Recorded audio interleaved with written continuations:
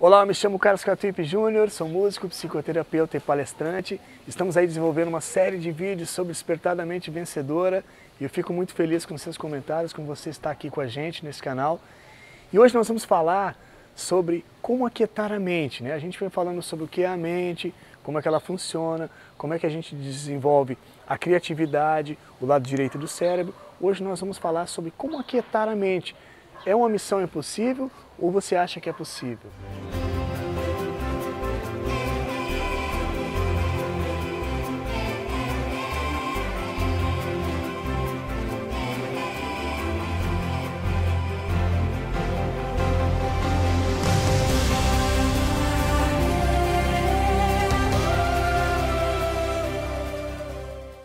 Para aquietar a mente, primeiramente a gente tem que entender que, lembrar né, que a mente é um campo de energia e ela está ali neutra. Ela não é nem positiva nem negativa, mas nós estamos ali alimentando ela diariamente com as informações. Então, como é que a gente vai aquietar a mente? Imagine nesse momento que a sua mente ela é como se fosse um lago, assim, bem cristalino. E você está olhando para aquele lago e aquele laguinho ali, está ali a aguinha paradinha, cristalina, você enxerga o fundo. Essa é a sua mente. Se você der uma intenção, jogar uma pedrinha ali, aquela onda vai expandir. Então, essa onda representa um pensamento seu. Você jogou ali uma intenção, um pensamento. E você emitiu esse pensamento. Se você está preocupado com alguma coisa, automaticamente você está com medo de que essa coisa aconteça no futuro. E ela não aconteceu ainda. Né? Futuros vídeos nós vamos falar sobre ansiedade. Mas essa coisa não aconteceu, então você está emitindo ondas mentais de uma coisa que ainda não aconteceu, pré-ocupação.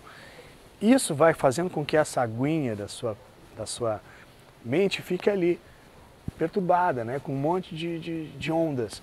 Então você tem que parar de se preocupar. Como é que eu vou parar de me preocupar? Tem coisas para acontecer? Não, simplesmente viva no agora. Esteja nesse momento agora aqui. Tudo bem, eu não sei a resposta, eu não sei o que vai acontecer, mas eu preciso aquietar a minha mente, ter calma, para que eu possa enxergar melhor a resposta.